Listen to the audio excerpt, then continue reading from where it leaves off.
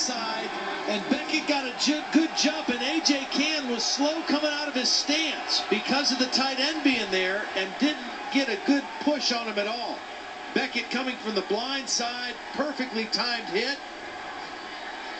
Bequette's had as good a game as any defensive end we've probably Yeah. seen this year. And it almost resulted in a touchdown as Quinta Jones diving on the ball, but they spot it at the one. Another and a vicious hit on the South Carolina quarterback.